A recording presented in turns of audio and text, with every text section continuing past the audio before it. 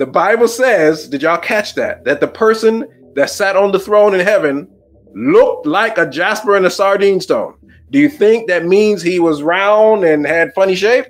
Or do you think they're talking about his complexion? That's a jasper stone that you see right there, and that's a sardine stone. Somebody been lying. Somebody been lying because that's what the Bible says that the person sitting on the throne looks like. Who's that person sitting on the throne in heaven? Is it the king? Is it the Lord? Trust me with your with your forgiveness. Yeah, yeah. There's nothing that God cannot do. There's no mountain that God cannot climb. God is Yahweh. You are Yahweh. Hallelujah. Thank you, Jesus. I will say of the Lord, He is my refuge, my hiding place. Yahweh. Yahweh is my hiding place. Deuteronomy 4:35. Unto thee it was showed that thou mightest know that the Lord He is God. There is none else beside Him. Who is God? What is God? Where is God? Why is there a God? When is he coming back? There are over 4,000 recognized religions in the world, believe it or not, today. Are there 4,000 gods? In today's society, we will, we must, we got to respect everybody's belief. I have a question that I need an answer for today. Why would God create 4,000 different sets of rules and 4,000 pathways to get to Him? Is it even possible in a lifetime to experience even half of these religions? There's 4,000 of them. I want to present to you today that you don't need to accept, join, or even follow, or even consider any religion. But you do need, you must find out before you leave this earth, before you place back in the dirt, you need to know who God is. Or should I say, what God is. Does it even matter? This message ain't for atheists. If you think the world was created by itself, or if you think order was created from chaos, if you think calamity from an explosion created a beautiful garden and waterfalls, if you want to think that you came from a monkey, then today's message ain't for you. Please come back next Friday at 7 p.m. We would love to have you. Today's message is for those with a burning desire to worship their creator. Today's message is for those who know God is real, but they want some scriptural understanding of who He is, or should I say, what He is. Today is a day that you're going to need to take some notes. If you have questions, you can put those questions in here right away. God, the, the concept, the idea of an almighty God is very difficult to come to explain. Is going to take time to understand. This is a faith thing. But I'm here to help you, and I'm going to go through scripture after scripture, precept upon precept, line upon line, and prove to you that Jesus created God. A more re- relevant question that opposes who is God is what is God? That's what we need to think about, and that's what we need to find out. What is God? The real question is what is God? God is a concept, not an entity. If God is God, then he's God of what? This is why I said you need to take notes. He's God of what? If he's God of heaven and earth, if you're God of heaven and earth, what were you before the creation of heaven and earth? Then you're a king with no kingdom. You're a husband with no wife. How can you be a mother with no child? Here in John 1 14, John chapter 1, verse 14, it says, And the word was made flesh and dwelt among us. And we saw his glory. The glory is the only begotten of the Father, full of grace and truth. When did this happen? It is here that we clearly see God proving that he was made flesh. We know the word is Jesus. And it says he was made flesh and we saw him. Saw who? God. We saw God. Dear God, if you are God, says who? If you're a God before heaven and angels exist, then there's no one to verify that and no testimony to prove it. If you're a God, you could prove it. We know the Bible says if you testify of yourself, you're a liar. You you a fast runner? Says who? Who did you race? I'm the smartest person in the world. Prove it. You met everybody in the world? I can do 1,000 sit ups perfectly. Says who? Listen to this life lesson. Proverbs 27, verse 2, it says, Let another man praise thee. Let somebody else praise you, and not thine own mouth. A stranger, let a stranger praise you, and not your own lips.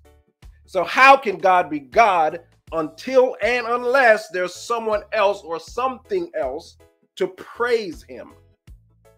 God has all power to do what?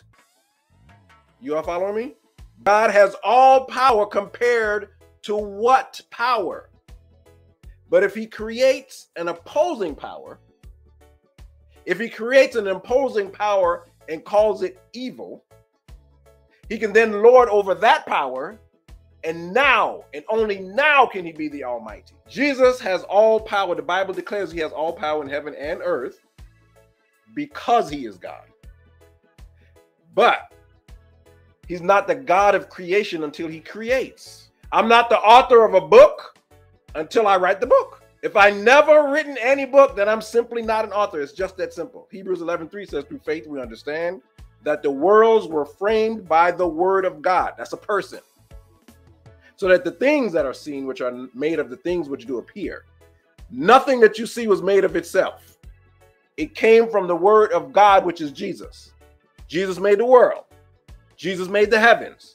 Jesus made everything that was made, including the concept that we now call God. To say that God has an origin, to say that God has a beginning is to imply that he needs one. God doesn't need to have an origin. He doesn't need to have a beginning. He doesn't need to have a start date. A true and living eternal God doesn't need to diminish his sovereignty by responding to a request of his identity or his nature or his pre-existence. He doesn't have to do that. If he's true and he's in the, uh, the mighty, almighty God, he doesn't have to respond to that. An almighty God would have to diminish his power and yield to a higher power to be created in order to have a start date. How can the clay make the potter? In order to understand how God can always exist, you would then have to put a date on exist. You can't put a date on exist. So you can't put God into a category that he won't fit in. He's too big for a start date. I want you to follow this scripture slowly. In the beginning, what beginning? The beginning of what? The very beginning? Okay. In the beginning was God. No. Follow closely. It says, In the beginning was the Word. Why didn't it say in the beginning was God? In the beginning was the Word. This should be the end of the conversation on the deity of Jesus because it just told you who's in the beginning. There wasn't multiple people in the beginning, it was only Jesus. And the Word was with God, and the Word, Jesus, was God. Your scriptures in your Bible says the word Jesus is the word. The scripture says Jesus was God. Jesus was God in the beginning. Whatever scripture you have, it cannot contradict with this one. The scriptures don't compete with each other, they enhance each other. They all flow cohesively together. That's how the Bible is set up. That's how God set his word up. Everything works together. If you, if you have a scripture that trumps another scripture, then you need to remove your doctrine, remove yourself, remove your own thoughts because scriptures work together. The Bible says in Isaiah 43, verse 12, I have declared and have saved, and I have showed when there was no strange God among you. Therefore, you are my witnesses of the Lord, that I am God. Who is Isaiah talking about here? Here in chapter 43, who is God here? Who is this person that's declaring, I am God? There's an erroneous teaching that proves a misunderstanding that says there's God, the Father. Have you heard this? There's God the Father, and then there's God the Son. That's incorrect. It's wrong. It lacks biblical scholarship. If you read Isaiah 44 6, the very next chapter, it says, Thus said the Lord, the King of Israel. Who's the King of Israel? Who's the King of Israel? Okay. Pilate wrote a title and he put it on the cross. And the writing was Jesus of Nazareth, the King of the Jews. Okay. That's so that's who the King of Israel is. Let's go back to Isaiah. And his Redeemer, the Lord of hosts, I am the first and I am the last. And beside me, there is one other God. It says there is no, none other God. So this one person, Isaiah, God is saying he's the first and the last. Well, why is Jesus saying the same thing in Revelation? He says the same thing in Revelation 22, verse 13. He says, I am Alpha and Omega. Do you know what Alpha and Omega means? In the Greek alphabet, it begins with Alpha and ends with Omega, just like English begins with A and ends with Z. You can't have any English word without using these 26 letters between A and Z. That's the same thing God is saying when He's using the Greek alphabet, because this was translated into Greek. It says uh, He's the beginning and the end by saying He's the Alpha and the Omega. You got that? Not only is Jesus saying, I am the beginning and the end, He's using the alphabet to remind you He is the Word. Did you catch that revelation? He's using words to prove He is the Word. He's using the alphabet to remind you He is the Word, and you can't have a word without the alphabet. I am the Alpha. I am the Omega. Okay? I am the beginning, I am the end. That's literally what he's saying. Since God says he's the first and the last, we just read that in the last slide, we have a problem because Jesus is saying the same exact thing, and you have to deal with that. That's written in your Bible. The very next chapter says in Isaiah 45 23, I have sworn by myself. You know why God swears by himself? Because there is no one else. The word has gone out of my mouth in righteousness, he says, and it shall not return that unto me, that means it's going to happen. This is God saying this in Isaiah in the Old Testament, so called Old Testament, that unto me every knee shall bow, every tongue shall swear. God said that's going to happen. It's not coming back to me void. In Romans 14, it says, But why dost thou judge thy brother? Why dost thou set it not thy brother? For we shall all stand before the judgment seat of Christ. Wait. Why does Christ have a God level job? Why is on Jesus' resume? What, what's on Jesus' resume that will qualify him to be the ultimate and final judge of all creation, unless it's his creation? Verse 11 says, For it is written, As I as I live, said the Lord, every knee shall bow to me, and every tongue shall confess to God. So I thought we just read that God said that you're gonna every knee and every, and every tongue is gonna bow to him. Now Jesus is saying the same thing. So are we going to be bowing to Jesus and confessing to God? I, I, don't I don't understand how this is difficult. We already read that we will bow and confess to God. So why is there a judgment seat for Jesus? Why does he own or possess a judgment seat? Verse 12 says, So that every one of us shall give an account of himself to God, who will be sitting in the judgment seat. And we just read that was Christ. So let me get this straight. In Isaiah, it is clear that every knee must bow and every tongue confess or swear, same word, in Romans, every knee must bow and every tongue confess to God. And in Philippians, it clearly says every knee should bow of things in heaven and things in earth and things under earth. This makes zero sense unless Jesus is God. On Judgment Day, I don't care what your religion is, I don't care what your denomination is. You will bow. You will be bound to Jesus at whose judgment seat? Jesus. G- at Jesus' judgment seat and you will confess, oh, you're God. Okay. But what difference does it make? Why do I care? There's a God. So what? What's in it for me? How does knowing there's a God affect my life? Which life? Why are you blindly concerned about this life? What about the next one? What about the next life that you must live? That's the permanent one. Your next life is the permanent life. Can you create something to dwell in while you're in it? Do you build your house from the inside? Did y'all set up the tent the other day while you're in it? Listen to this prophecy. God said in Leviticus 26, and I will set my tabernacle among you, and my soul shall not abhor you. When did he do that? And I will walk among you, and will be your God, and ye shall be my people. When did God set up a tabernacle, a tent, or a dwelling place and walk among us? When did God walk among us? In the first chapter of John, you'll find the most detailed description of Jesus. When you get to verse 10, though, you got a problem. If you still believe there's a separate person from God, it's okay. Watch this. He says, He was in the world. Who's the He? Jesus. And the world was made by Him. You got a problem. If you already have the revelation of Jesus' deity, you'd be praising God right now.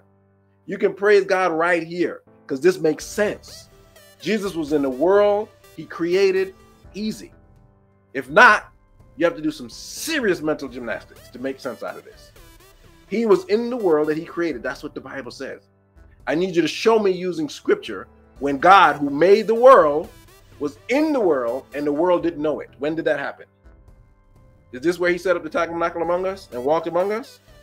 Or was that coming? I'll read it again. And I will set my tabernacle among you, and my soul shall not abhor you. And I will walk, walk. God has feet. I will walk among you and, you, and will be your God, and you shall be my people.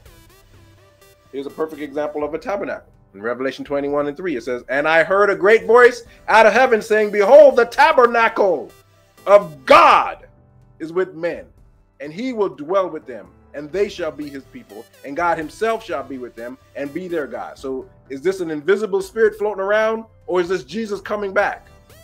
Who is Jesus coming back for?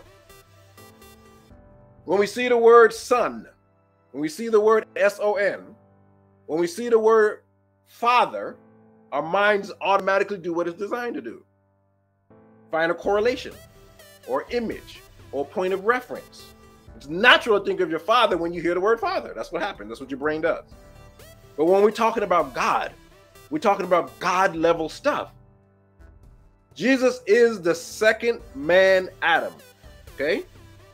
So Jesus had to be called God's son. Right? Adam was God's son. Did Adam have a natural father? Did Adam have a father as a result of copulation? Did Adam have a belly button? Did the stork bring him? 1 Corinthians 15 45, it says, And so it is written, the first man, Adam, was made a living soul. The last man, Adam, was a quickening spirit. Who's the last Adam? Jesus. Who is the only person that can undo Adam's stupid mistake? that caused the devil to have dominion over all of his creation. God. He can't trust nobody to do this. Who would be willing to be murdered for sinners? Who wants to die for a bunch of sinners that, that probably keep on sinning? Only God has that kind of love. He had to come. He had to do it himself. The only way he can undo Adam is to become the last Adam. Since the first Adam messed it up. Adam was made of flesh. Okay? And God had to be of Adam's flesh. He had to come through Adam's flesh. That's why the curse says the seed of a woman shall bruise the devil's head. Who's the first Adam to God? His son. So if Jesus is the replacement Adam, Jesus has to have a God. Adam had to have a father. Jesus on earth has to have a father if the scriptures say God is the God of all flesh, when God comes to earth in flesh, that flesh has to be subject to God. Because the Bible says God is the God of all flesh.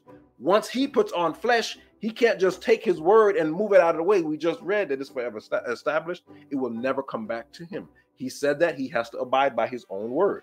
So when he puts on flesh, he has to be subject to himself, God, because God is the God of all flesh. That's why he still has to pray because flesh has to pray. That's why he had to get baptized because your flesh has to get baptized. And that's why he still had to keep the commandments, even though he's God.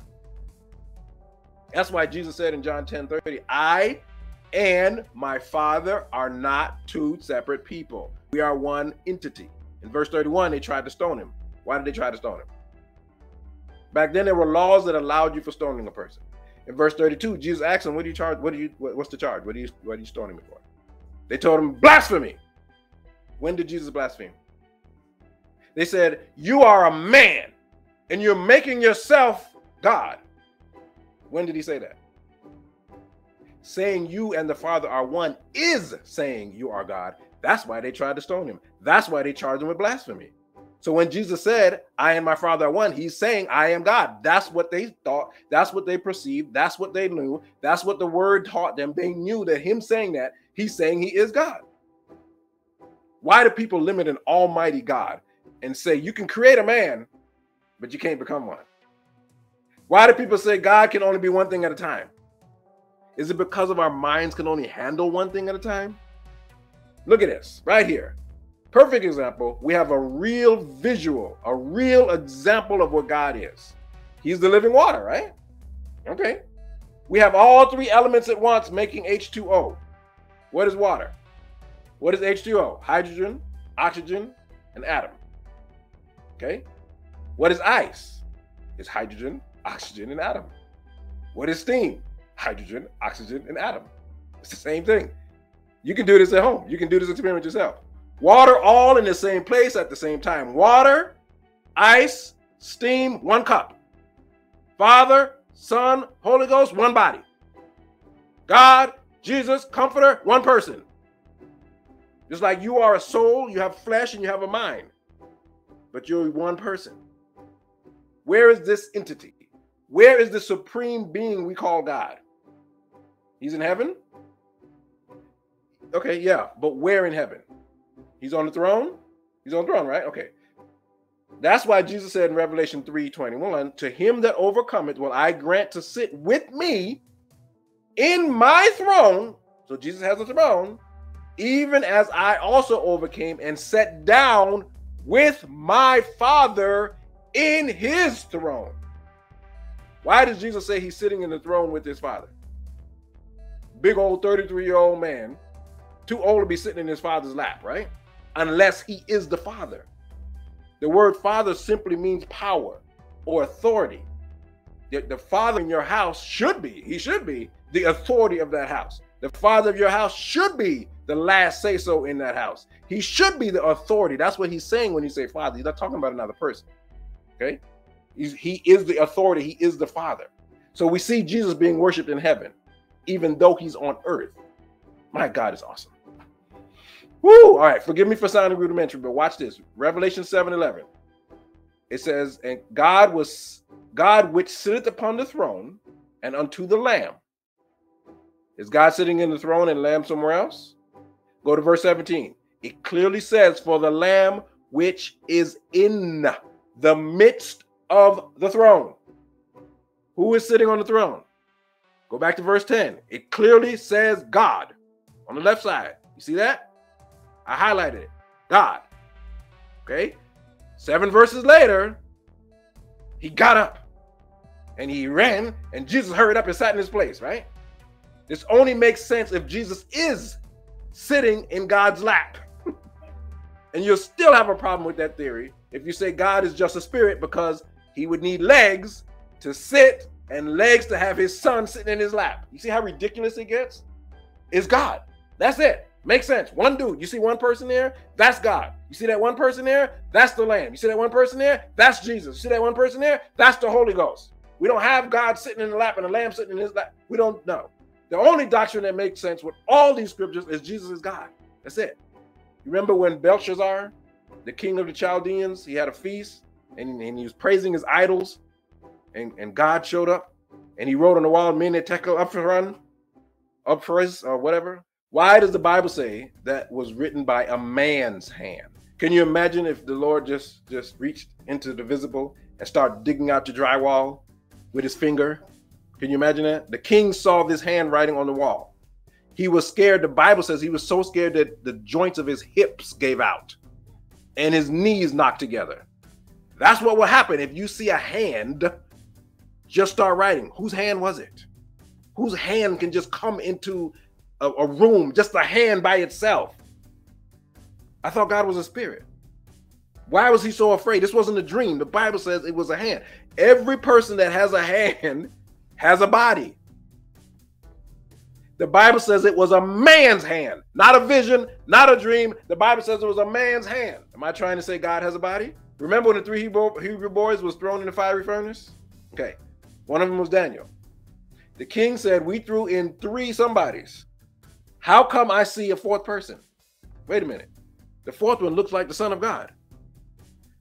Mary wasn't even born yet. How is there a Son of God? How is that even possible for there to be a Son of God if he's the Son of Mary, who Mary wasn't even born yet? And how does the king know what the Son of God looked like? With our carnal minds, we confuse our own self. With our carnal minds, we wrestle with spiritual things. Because our carnal, natural mind, we try to force God into what we perceive as a father and a son. But we know we can't apply that to Jesus, who had no natural father. Joseph ain't his daddy. Our carnal minds have to be forced to accept that God, the last Adam, needs flesh. We have to force our mind to accept he needs flesh and he must be born of a woman. That's it. You just have to accept that by faith. God, with this flesh, can hide himself now. God can walk the earth for 33 years behind flesh. That's why the Bible says, Verily, thou art a God that hidest yourself. O God of Israel. God hides himself with a veil, the same way a bride hides her face until she joined at the altar with her husband. Or if you're like my wife, you'll put the uh, veil on backwards and double hide your face. Did God marry us yet? Did God marry us yet? No, he has not married us yet. Okay, that's going to happen. God uses a body as a veil, just like a, a woman does. Okay, which is his flesh. That flesh is the son of Adam, and Adam is the son of God. And this ain't no ordinary flesh that God has, that Jesus has. This is the kind of flesh that can walk through walls, remember? And he ate some food. And he told Thomas, stick your hand in here. Look at that. He, he walked through the wall. He just appeared out of nowhere, but he can still eat. And he got a hole in his side. This ain't no ordinary dude. That's God. What a mighty God we serve.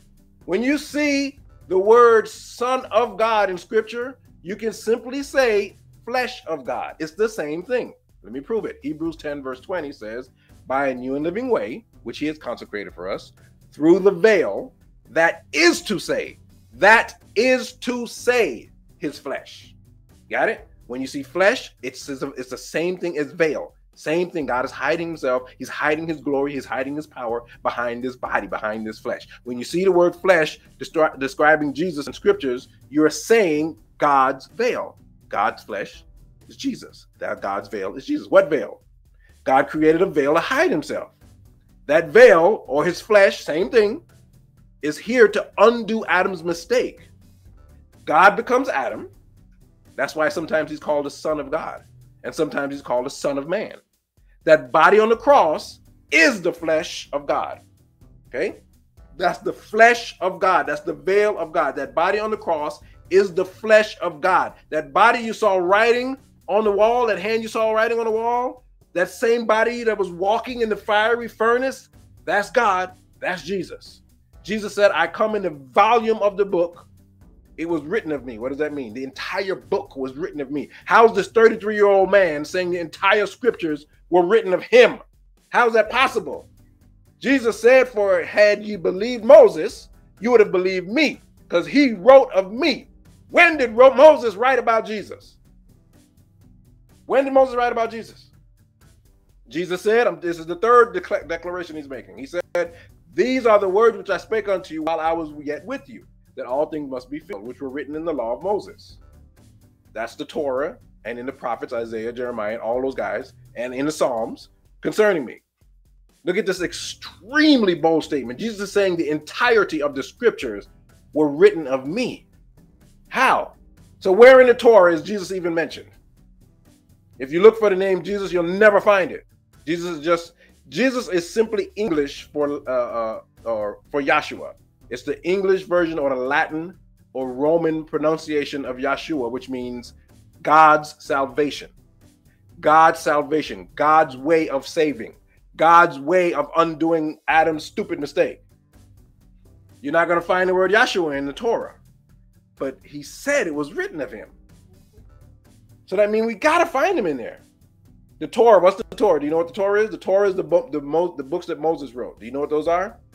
You know what the books Moses wrote? Okay, the law, the commandments, the books that Moses wrote, the Torah. Jesus said he's in here. Genesis, Exodus, Leviticus, Numbers, Deuteronomy. The first five books of the Bible is called the Torah or the law or the books that Moses wrote. Okay? I can go through each of those five books and show you Jesus in each one. But who was the person walking in the garden with Adam? We got to start with that. He was walking in the garden. Do you know what color eyes uh, our eyes turn when we drink wine? You know what color our eyes turn when we drink wine? Genesis 49 says, His eyes shall be red with wine, and his teeth white with milk. That's the best eyes I can find. Sorry. In Exodus 33, that's Genesis, his Exodus. He said, Thou canst not see my face. This is God telling Moses, You can't see my face. I have too much glory. So I have to hide myself when I come to earth. I have to hide this glory in a veil or flesh. The Bible says, No man shall see me and live. That's why God needed a veil. Do you understand why God needed flesh? Why he needed a veil? He's too powerful, and if you see him, you'll die. But he's going to do Moses a favor. Moses, you my dude, you're my homie. I'm going to do something for you. The Lord told Moses, Look, there's a place by me right over here. I want you to stand on that rock. What did Moses need to stand on the rock? Feet and legs. Okay? So Moses got feet and legs because he's standing on a rock. Okay? Let's keep that same logic. God said, and it should come to pass while my glory pass by, when I walk by you, I'm going to take you and I'm going to put you in the corner of the rock. And I will cover you with my hand. What do you need to cover somebody with a hand? You need a hand. What is your hand attached to? A body. He said, I'm going to cover your hand while I pass by. That's the same hand he used to write on the wall. And he says that I will take my hand, I will take away my hand. When I take it away, I'm gonna wait till I pass by you, and I'm gonna take my hand away, and you're gonna see my back. What do you need to have a back? A body. But my face shall not be seen. We God just told you out of his own mouth he has a hand, he has a face, and he has a back. What do you what, what do you do with that? Because you have no problem believing that Moses had legs and feet, and it didn't say he has that. It never said that. But you use your mind and you use a, a picture and an image in your mind. If he's standing on a rock, he must have legs and feet. So if God is walking around, walking past Moses, don't he have to have legs and feet too? He got a hand and a back, and he has a face. What? Why would he say no man can see my face unless they die if he doesn't have a face? All right, let's see if we can find Jesus in the Psalms. I could go through all the Torah, but I'm gonna try to save some time. Let's go to Psalms 18, verse 10. The Bible says, "And he rode upon a cherub, and he did fly." Yep, he did fly upon the wings of the wings of the wind. The wings of the wind is a cloud. This is Jesus' ascension after he resurrected from from the uh, from the tomb.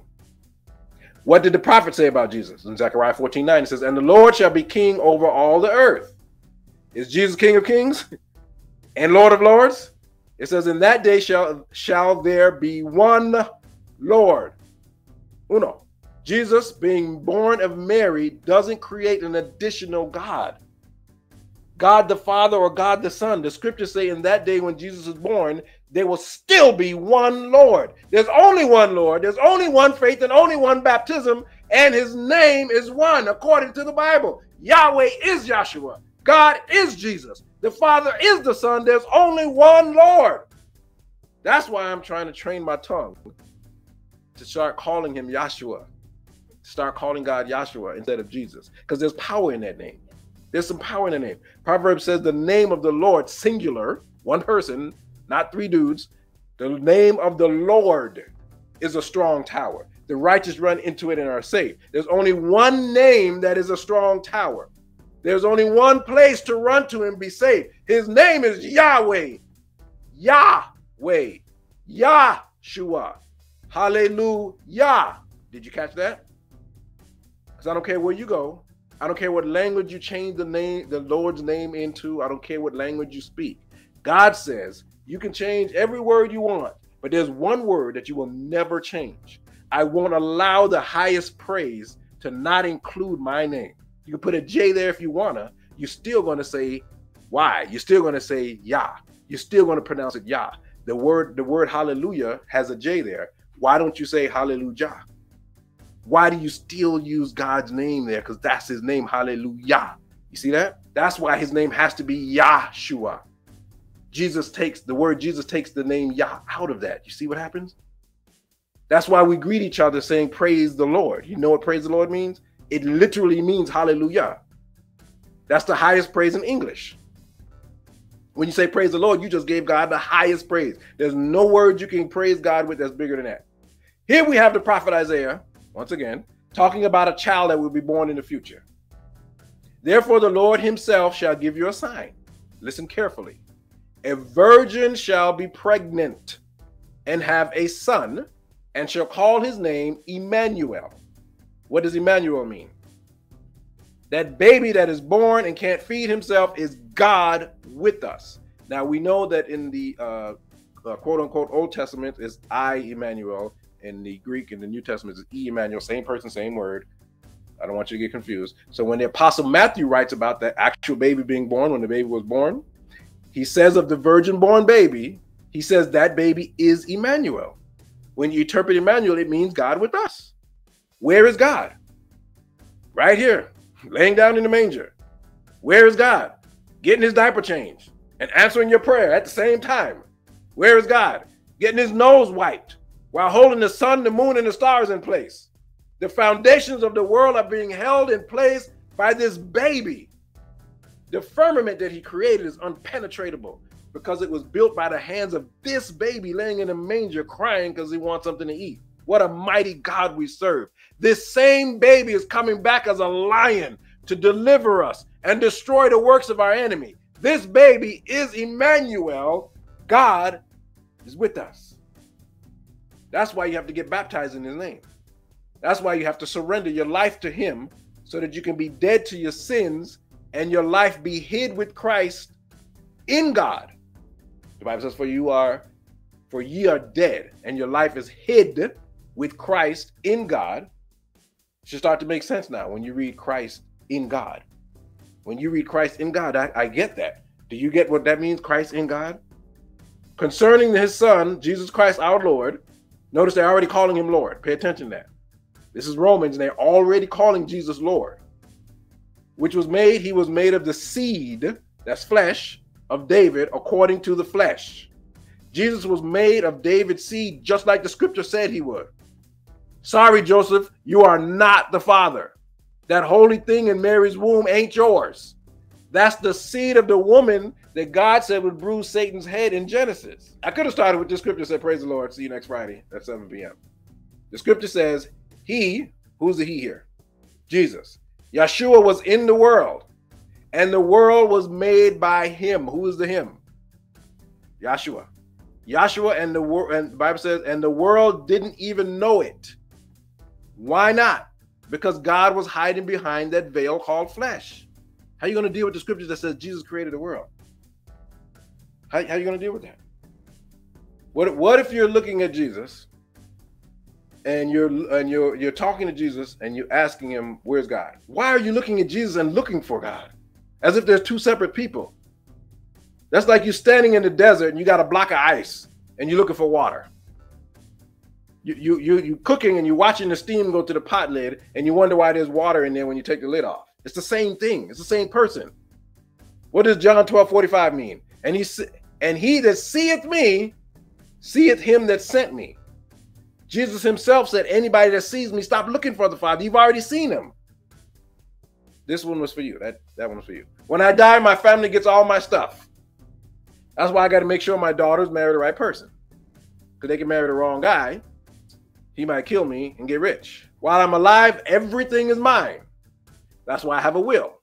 So when I'm dead, nobody will fighting over my stuff. Nobody gonna be fighting over anything. Yeshua said, all things that the Father has are mine. Who does heaven belong to? Who does the throne belong to?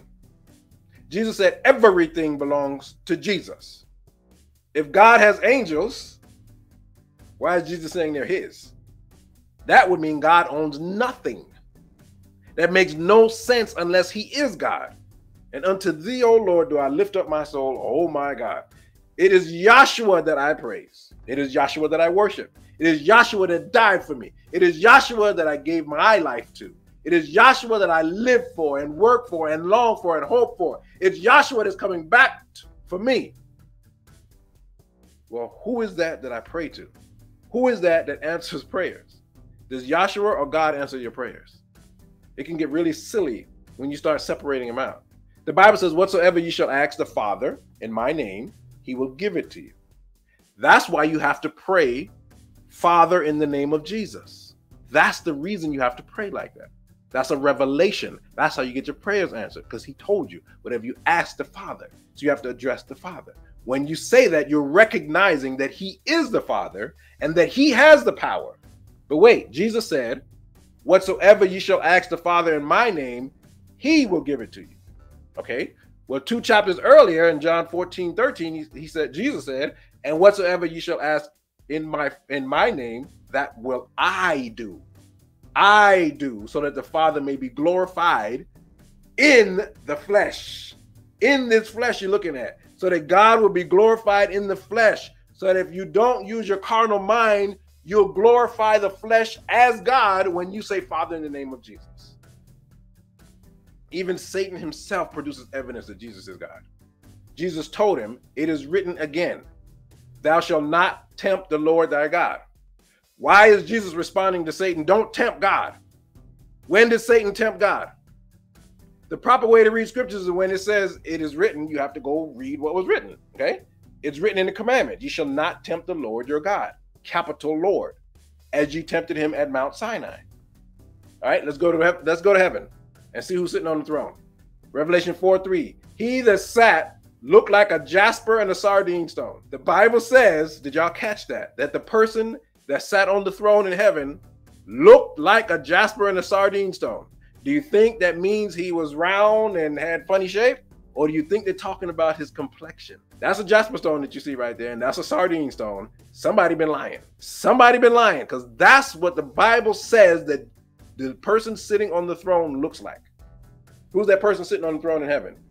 Is it the king? Is it the Lord? Well, well, if it's the Lord, the Bible says Jesus is the King of Kings and Lord of Lords. That makes him the person on the throne, anyhow you do it.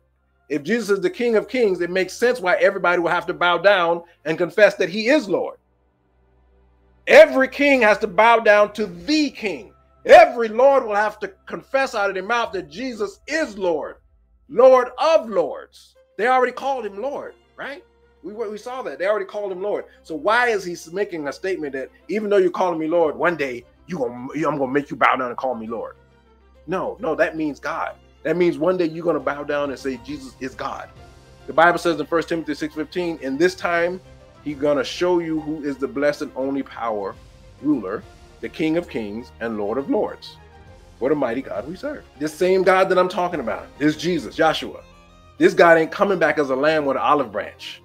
This is a mighty warrior, and he's coming back with a sword. Revelation says, "There shall they, these shall make war with the Lamb, and the Lamb shall overcome them, for he is Lord of lords and King of kings, and they that are with him are called the chosen and the faithful." These ten nations are going to make war with him, but he will overcome them. You know why? Because he is Lord of lords and King of kings. In Hebrews, it says, "To the general assembly and church of the firstborn, which are written in heaven, and to God, the judge of all." Who's going to judge all? Is God the supreme judge? Who will you be standing in front of on judgment day? Who is God the judge? Tim, in uh, 2 Timothy 4 1, it says, I charge thee before, I charge thee therefore before God and the Lord Jesus Christ. You remember Jesus has a judgment seat. Do you see two people here? I charge thee before God and the Lord Jesus Christ. Do you see two people?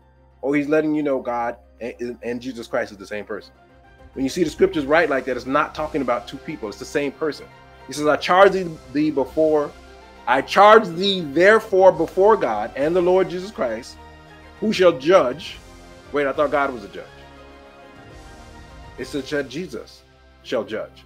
I charge thee therefore before God and the Lord Jesus Christ, who shall judge the alive and the dead, alive and the dead, at his appearing and his kingdom. The alive and the dead sound like everybody to me. So that sounds like judgment day to me at his appearing and his kingdom. We already went over the fact that Jesus owns everything. It's his kingdom. It says, For we must all appear before the judgment seat of Christ. I thought it just said God. Who is the supreme judge? We all, every last one of us, has an appointment to appear before the judgment seat of Christ, that everyone may receive the things done in his body according to that he has done, whether it be good or bad. I hope you take some time to repent. I hope you get your, your record expunged. I hope you talk to Jesus and beg for the forgiveness that you need before your appointment. Before your appointment date, I hope you have gotten forgiveness from God. In Hebrews, it says, and to and to Jesus, the mediator of the new covenant, and to the blood of sprinkling that speaketh better things than that of Abel. Okay. See that you refuse him, refuse not him that speaketh, for if they escape not who refuse him that speak that spake on earth, which much more shall we receive much more shall we not escape if we turn away from him that speaketh from heaven. Who's speaking from heaven? Whose voice then shook the earth.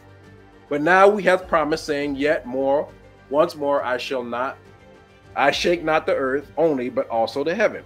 We started in verse 24 talking about Jesus. This is all Jesus. This, this, these set of verses are saying that Jesus is speaking from heaven, and that at one time Jesus spoke and shook the earth. When did that happen? If you go to Exodus 19, and Mount Sinai was together, all together on a smoke, because the Lord descended upon it in fire, and the smoke thereof ascended as the smoke of a furnace, and the whole mountain quaked greatly. He just told you. This is one more verse. The verse we just read before that, it literally says Jesus. In verse 26, it says, When the earth then shook. This is what he's talking about. This is the precept for that. But we know back in Mount Sinai, that was God. The only way this makes sense unless Jesus is God. We're going to go into a part two next week, but I'm going to use it based on your questions. Send me your questions, and I'm going to formulate the next set of slides based on your question. I want to go into more detail of how Jesus created God. Right now, I just wanted to point out in this first one how Jesus is God. But Revelation 19 says, And I saw heaven opened, and behold, a white horse. And he that sat upon him was called faithful and true. And in righteousness he doth judge and make war. He's coming back for war.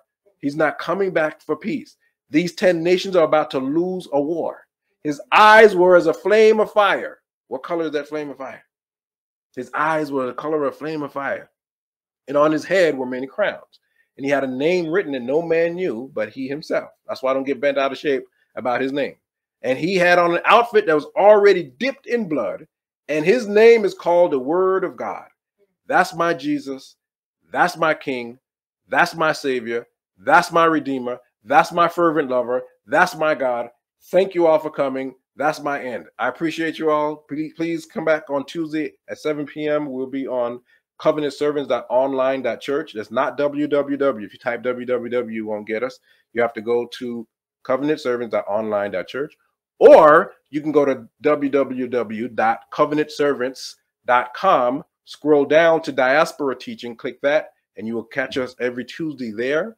On Fridays, we will be here every Friday at 7 p.m. Thank you all for coming. I appreciate your time.